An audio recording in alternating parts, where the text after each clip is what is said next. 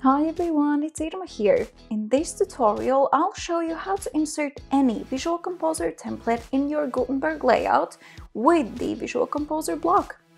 The first step is to download Gutenberg Template Block add-on from the Visual Composer Hub.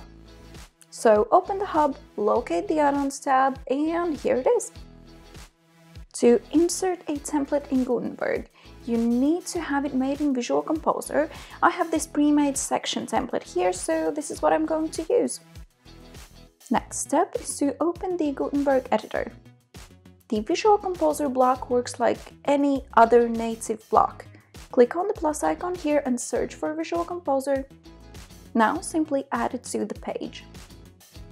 Let's click on Choose Template and that opens a window on the right with a drop-down where you can choose any template you've created in Visual Composer. I'm obviously going to choose the section template from before. Now you can see that the template is added. Let's move it to the top and check how it looks.